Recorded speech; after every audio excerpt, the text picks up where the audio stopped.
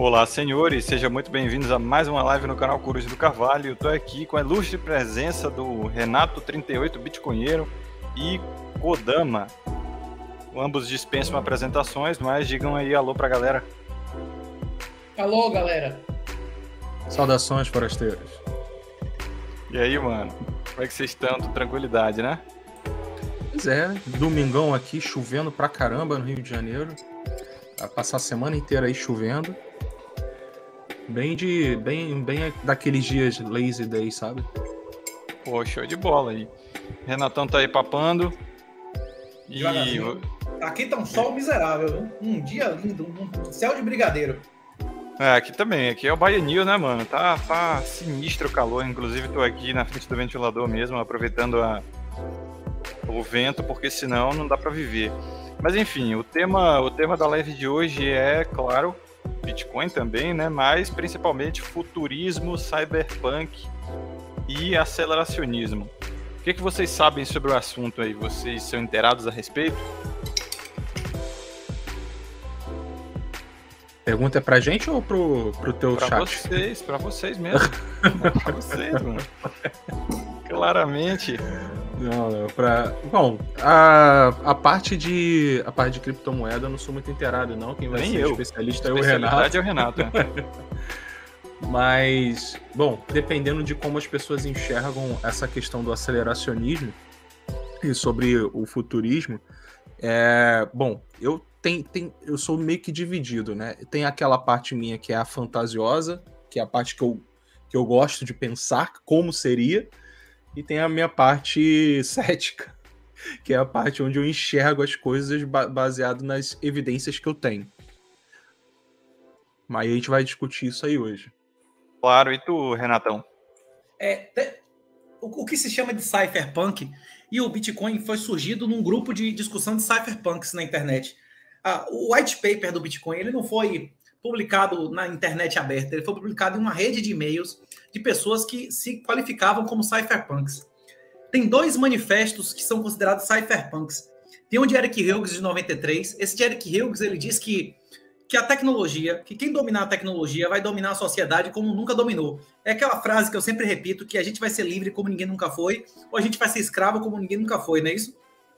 Sim, exatamente. Eu já vi você falando desses cortes. Isso. E não fui eu que disse isso, né? Como o, o professor Lavo diz, né? Que a maioria das pessoas fala pela boca de pessoas que. que, que, que, a, a, que fala pela boca de pessoas que, que já morreram há mil anos, há 500 anos e acha que tem ideias próprias, não é isso? Sim. É isso. A maioria das coisas que a gente. É, é possível que a gente tenha ideias próprias, mas a maioria das coisas que a gente acredita, a gente acredita porque a gente aprendeu de alguém que sistematizou e, e nos disse antes, não é isso?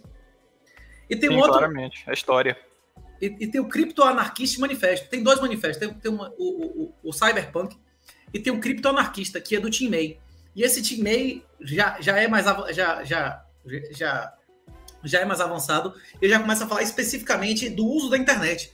Que o uso da internet vai fazer nós sermos livres como nunca fomos, ou escravos como nunca fomos. Só que esses caras escreveram isso, porra, 15, 20 anos antes de existir Bitcoin. E nesse ambiente que, que foi criado o Bitcoin. Essas pessoas compreendiam que é como você sempre diz aí, né? Que a tecnologia de, define o comportamento mais do que a cultura, né? Em muitos aspectos. O limite da realidade é muito mais forte do que o limite da, da nossa vontade, né? Sim, claro. É, o, o, que Júlio César disse quando vai atravessar o Rubicão, não é isso? O, o, nosso destino é muito mais determinado pela ousadia dos nossos inimigos e desígnios dos deuses do que pela nossa própria vontade, né? Aliás, já que tá este. É, é o ambiente nesse caso. Mas eu posso querer, porra, ser Napoleão, não sei o que, voar, não, não tenho asa, não adianta porra nenhuma, não é isso ou não? É, exato. É isso. E esses caras notaram que quem utilizar, a internet, quem utilizar as novas tecnologias como a internet com mais eficiência, ou as corporações, ou os governos, ou os indivíduos, vai concentrar um poder que ninguém nunca concentrou na história da humanidade, que é o que o Isaac Asimov chamava de digital divide, que é uma concentração de poder e de riqueza que nunca mais ia, ia, ia, ia ser ia ser irreversível, né? Sim. Agora, essa daí, essa referência eu não peguei, não. Isaac Asimov, isso eu nunca ouvi falar, é um, é um futurologista. Nunca falar de, de Isaac Asimov. É o, é o, o cara que... é estranho.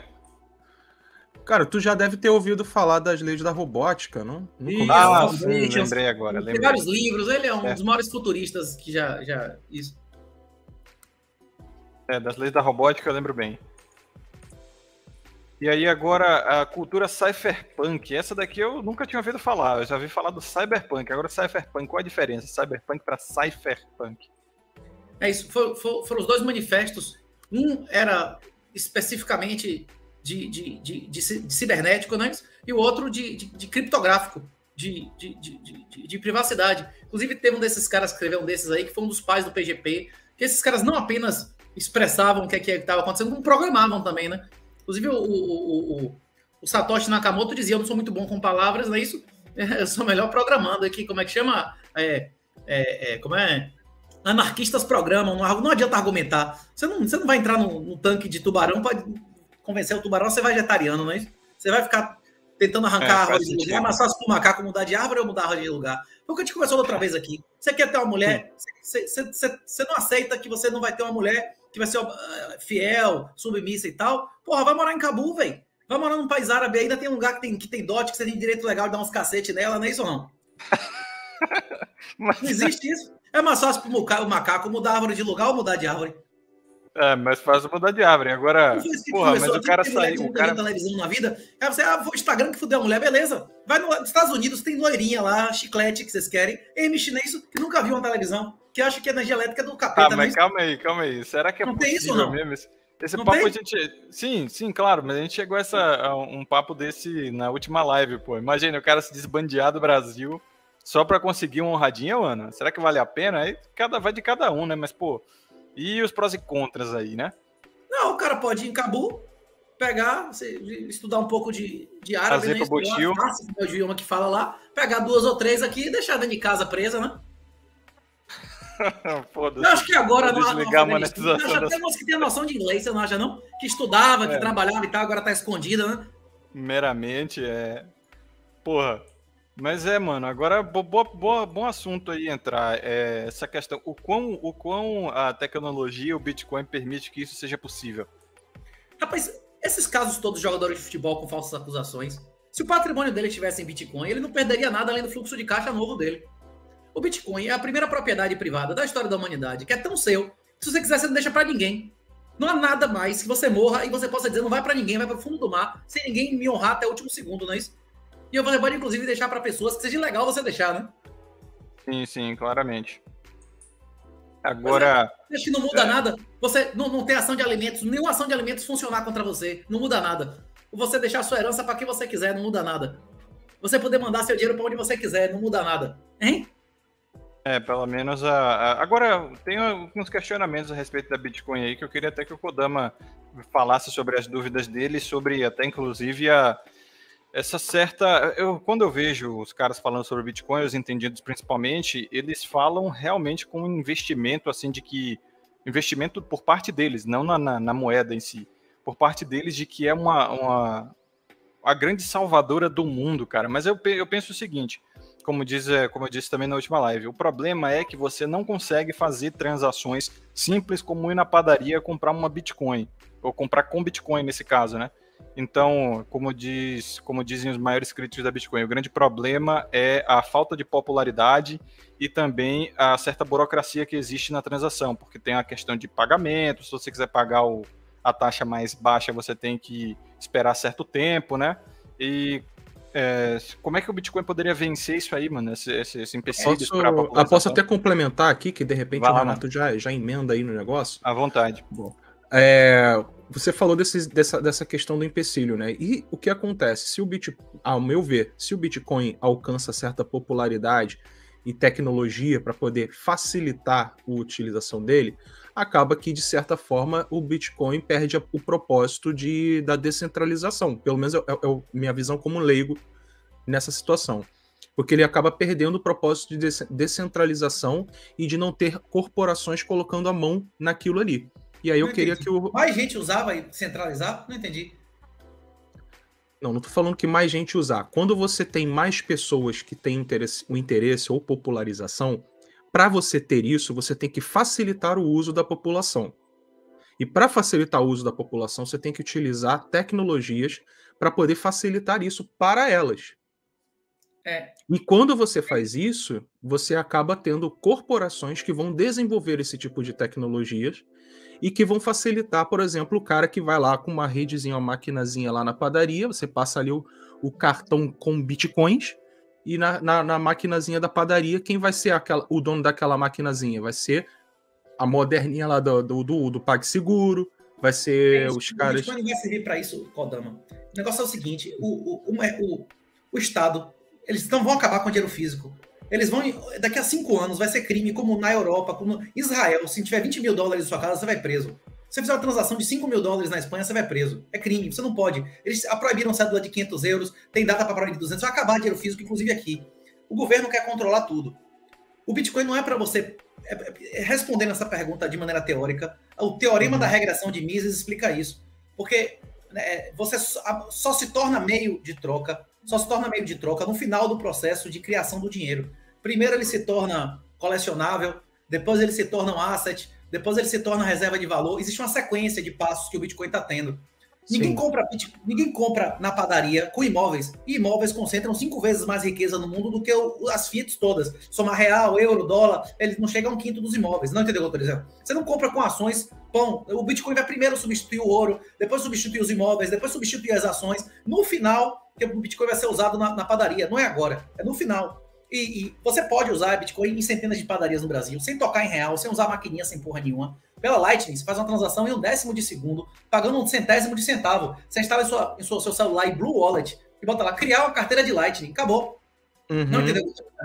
Existem não, outras campanhas. Mas, Quando você diz assim, ah, tem que esperar uhum. 10 minutos, no seu você está falando on-chain. É na rede principal do Bitcoin. Essa rede não vem substituir o Pix. Essa rede vem substituir o Swift, que são as transações internacionais. Quando você está pagando uma FII de, sei lá, de R$ reais 50 centavos para fazer uma transação on-chain, que é essa que, que, é, é, que é reconhecida a cada 10 minutos, você está pagando para 100 mil computadores registrarem eternamente isso. Isso não tem como uhum. ser barato, não é isso?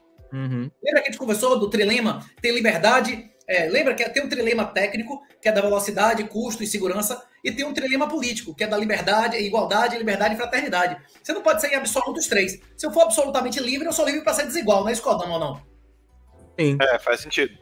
Faz então, sentido. A, a, a, a, a tríade lá da Revolução Francesa é uma tríade mentirosa. Ela deixa claro que é uma porra satânica, demoníaca, porque tá prometendo coisas que são incompatíveis entre si, não é isso? Uhum. É, faz sentido sim. É. Você é totalmente porra, livre, você é livre igual, pô, O cara vai ser igual a Tora, não é isso ou não? Hein? Sim. sim. É isso. Bom, mas coisa, eu, eu, eu entendi o que você segurança, falou. Velocidade, custo e segurança. Com menos segurança, você pode ter velocidade e custo supremos. Lightning. Com médio, você quer pagar um décimo do que paga na on-chain, cinco vezes mais rápido, Liquid. Existem outras soluções, sidechains, solução de segunda camada como a Lightning, você faz transação hoje em dia por fração de centavo, ou até de graça. Mas e o afegão ah, mas, cara, médio? Mas, olha só, é isso aí que eu ia falar, cara. Eu ia baixar aqui o Emílio Surita e falar... Disso. Mano, o afegão médio, olha só, você falou uma cacetada de palavras aí, que algumas eu até peguei, outras eu não peguei. O afegão médio é então... relevante. Eu não preciso nem que 2% da população adote o Bitcoin para colapsar o, a, a ditadura ginocentrista. A regra de Pareto, 20% das pessoas produzem 80% da riqueza. 4% das pessoas produzem 64% da riqueza. Se metade desses 4% pararem de contribuir, o welfare, que é uma máquina, o Estado é uma máquina de tirar então, dinheiro quem, de E quem são esses 20%? 80% de PTU, quem paga é homem. Mais de 80% de quem recebe benefício previdenciário, assistencialista é mulher, imóvel, até os imóveis agora da MST, ah, mas... grátis. Ok, Renato, mas olha só, regra de Pareto. 80% mulher. Na hora que metade dos contribuintes aí, relevantes pararem aqui, pessoas. Calma aí, Renato. Na boca, porra. Segura a metralhadora aí. Relevante se foda. Mas vou falar, eu xinguei, me perdoa. Agora já. Calma era. aí, Renato. Olha só, 80, 80, 20, certo? Quem são esses 20%, então? Os sua maioria, homens que, que, que é o cara que homens. sobe no poste, não é isso? É o macho que sobe no poste para fazer a porra da manutenção da, da rede de alta tensão, não é isso? É o cara que assume não, risco, que é empresário. Você falou, você falou é o seguinte: é, você falou que você não precisa que a população é, venha a aderir o Bitcoin. O que você não. precisa é que pessoas você precisa você dá, por exemplo, a regra de parênteses. 2%. Aí, que é o segundo 2%. que quer botar 10% do patrimônio dele em Bitcoin, como é o nome do cara então, lá. Isso. Então, o Bitcoin, ele não é feito, então, para a população. O Bitcoin é feito para Ele é feito para a população, rica. ele vai libertar a população. Só que a população não tem dinheiro relevante. A maioria das pessoas, elas têm patrimônio negativo no mundo. Até nos Estados Unidos, que é um lugar 27 vezes mais rico por cabeça que o Brasil, a maior parte da população tem patrimônio negativo. Ele deve mais do que tem ativos. Essas pessoas, elas não têm como participar de uma guerra financeira derrotando o Estado, não é isso? Não, isso aí é isso que eu quero entender. Então quem é que vai, quem é que vai utilizar o Bitcoin então, Renato?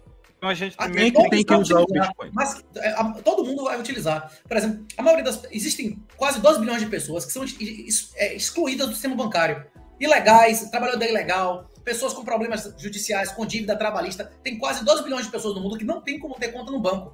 O, o trabalhador que trabalha ilegalmente nos Estados Unidos não tem como fazer uma remessa legalmente pro país dele. Com o Bitcoin ele manda tranquilamente. Fora que às vezes você consegue fazer um Western Union, você paga 20% da porra, não é isso?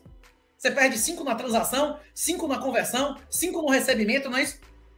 Caralho, o Renato. Ah, mas é a esse prova cara- mas se esse cara aí que tá fora- do Brasil, tu fica hum, completamente puto, mano. Não Mas esse cara como. que, que tá fora aí, Renato, esse, é, vamos lá, a gente tá falando. Você já fez um Swift, sempre-? Você já Eu não fez um sei que- eu não sei Uma que é isso?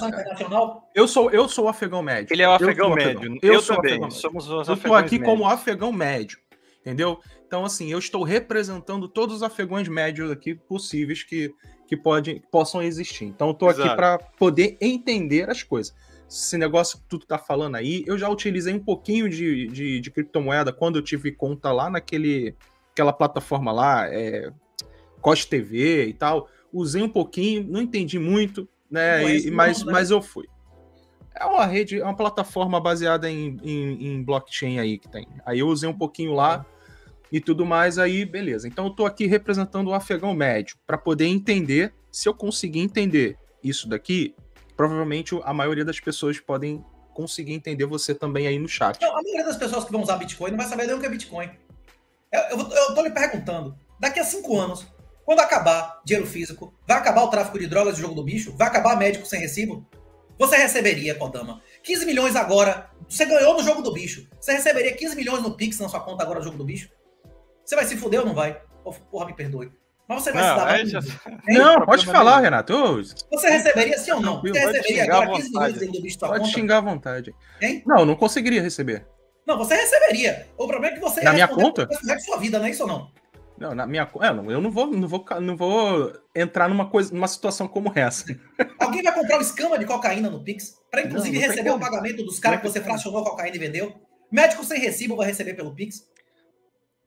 Esses caras vão deixar de existir? Vai deixar de existir tráfico de drogas? Me diga aí, é você que vai me dizer como é que vai ser. Não, Ah, mas- obviamente não. Mas não, mas vamos lá.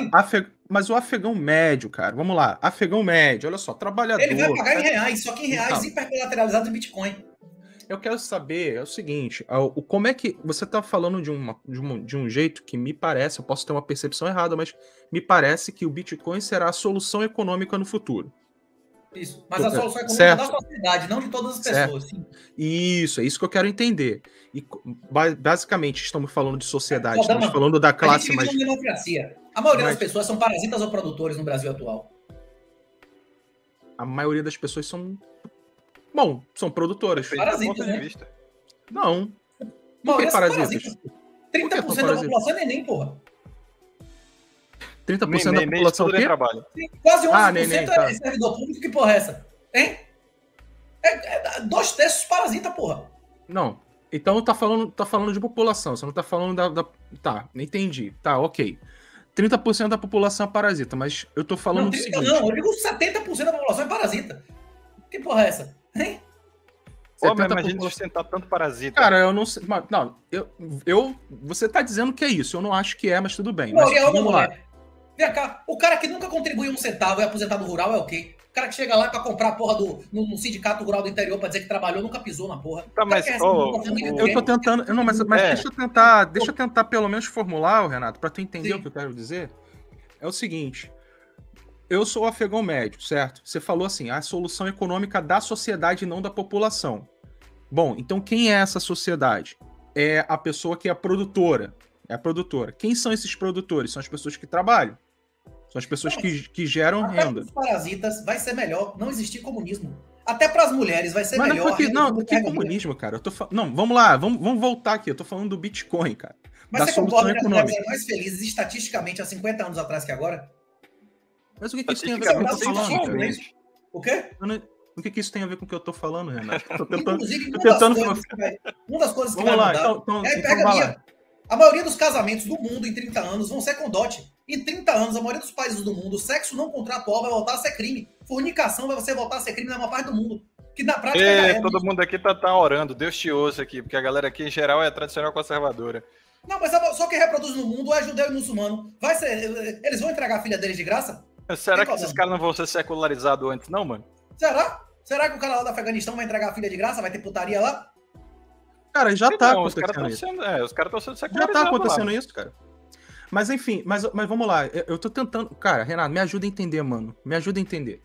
Vamos lá. É porque talvez você tá falando. Você já tá indo muito. Talvez você tá muito além da coisa e eu, eu, eu tô muito retrógrado ainda na parada. Me ajuda a entender. Olha só, o Bitcoin como solução social. Quem, quem são as pessoas que vão se beneficiar? Você falou que a população em geral vai se Todo mundo. beneficiar. Todo mundo Todo vai se mundo. beneficiar. Até os Como? se beneficiar. Até Como os que parasitas. Como? Tá, mas como que todo mundo, se o afegão médio não vai conseguir utilizar isso daí? Ele vai utilizar. Ele não vai Como? conseguir poupar nisso aí. Porque ele não consegue poupar. Como que ele vai utilizar o Bitcoin, o, Renato? Qualquer um que adquira Bitcoin adquire liberdade. Ele vai adquirir. Mas ele, o afegão médio não vai, não vai dele. adquirir Bitcoin. Ele não vai Como? adquirir Bitcoin. O afegão médio não vai adquirir Bitcoin. Por causa das travas que eu falei pra você anteriormente. Ele o cara ele quer utilizar o dinheiro, não é pra poupar, não é para o afegão médio não poupa, o afegão médio não investe, o afegão médio não faz nada disso. Ele O pega o dinheiro que ele trabalha e vai, ele pega o dinheiro que ele trabalhou ali e tal que o, o, o empregador pagou pra ele, ele vai gastar com cerveja, churrasco, mulher e pagar as contas de casa. É Isso é basicamente verdade. isso. Porque a motivação do sistema Fiat é essa. Todos, os- todos os sistemas Fiat, em todas as sociedades da história da humanidade, inclusive Roma, como diluíram a moeda, acabou a poupança. Nos Estados Unidos, quando acabou o Gold Standard em 71, o nível de reinvestimento era de 30%. Hoje é de menos 3%. As Hum. pessoas não poupam. Cada ano a, classe média tem menos a poupança do que no ano anterior. Todos os lugares da história da humanidade, na Grécia, em Roma, nos Estados Unidos aqui, quando você desvinculou, quando, quando você deixou de ter uma moeda que era reserva de valor real, como aconteceu em 71, quando o Nixon acabou com a janela, a janela do ouro, você desmoralizou. É isso que está falando é verdade. Até as bactérias, elas seguem motivações. O cara age assim, porque hoje é vantagem agir assim. Quando mudarem as motivações, quando o Bitcoin começar a ser entendido, quando cada pessoa que entende Bitcoin muda as, modi- as motivações dela. Quando eu entendi Bitcoin, eu deixei de ter casa, eu deixei de ter carro. Isso. Minha vida mudou completamente. É isso. Na hora que você incorporar o Bitcoin na sua vida e você entender que seu patrimônio é imune, que se foda, que nenhum juiz vai tomar nada de você, aí, aí você vai mudar seu comportamento, a preferência temporal, o quanto você está disposto a, a- renunciar no presente para ganhar no futuro. Esse, esse, esse, esse dado é mais relevante para o desenvolvimento, para o enriquecimento de uma pessoa, de uma família, de um país, do que o QI, por exemplo. A preferência temporal é estatisticamente demonstrado que é mais importante do que a inteligência para o sucesso de uma pessoa, de um grupo, de um país. Se o cara for 20 pontos menos, mas tiver uma capacidade de renunciar maior, ele consegue enriquecer mais. É. E isso Bom. você fica modificando as motivações. Então, então você está me dizendo que o. Bitcoin Ó, ele pode ser um- uma, um, uma tinha um gari. ferramenta de mudança cultural, é isso? tinha um- tinha um gari, tinha um gari na, onde eu trabalhava, Sim. que o sonho dele era ter um carro. Um fudido, porra. O pai, o pai e a mãe dele, porra, da roça, entendeu? Um cara que, porra, nasceu em casa que não tinha energia elétrica. Mas eu não tô falando de tirando onda, não. Meus avós nasceram em casas que não tinha elétrica. Meu- meus Uhum. pais nasceram em casas que não tinha televisão. Televisão, quando minha mãe e meu pai eram adolescentes, era um luxo, porra. Eles nasceram na, na, na década de 40, não é isso? Sim. É isso. O cara, o cara tinha 2, 3 Sim. mil reais, certo? O cara comprou o Bitcoin no início de 2000 2020 e vendeu a porra quando quadruplicou e comprou a porra do carro dele. Aí ele viu o Bitcoin cair 80% e já vendeu a porra do carro e começou devagarzinho a fazer recompra. Ele deixou de fumar, ele deixou de lanchar na rua, comer porcaria, o cara mudou a vida dele porque ele descobriu um lugar onde ele botava a porra do dinheiro dele e quadruplicava. E a porra só dependia dele. Quantas pessoas, as pessoas hoje no Brasil, elas não poupam, porque não existe alternativa de poupança, não existe poupança no Legacy. A poupança na época de nossos pais era construir. Quando eu era criança, tinha mais loja de material de construção no país do que padaria. Hoje em dia, com a população diminuindo, a tendência é que o imóvel valha mais ou menos, Kodama, no futuro, daqui a 20 anos. Menos, menos, porra. Não, Porra, mais, mais. As cidades estão diminuindo. Salvador diminuiu 10% em 10 anos, não é isso a população. Já começou Sim. a diminuir a população nas grandes cidades. Porra, vai ser um colapso. Então, as pessoas, esse comportamento. Inclusive, tem um cara que tem duas bibliografias, se vocês quiserem ver isso é, detalhadamente. The Bitcoin Standard do Seifedin Amos, que ele explica, tipo assim, é um cara que fez doutorado e tal, explica detalhadamente como a, a, a, a, mudança de motivação muda comportamento. E tem um artigo em 2011, o cara teve essa sacada, o Bitcoin e os pobres, de Nicea Popesco, que ele explica como o Bitcoin vai acabar com o socialismo e com essa, os problemas de engenharia social.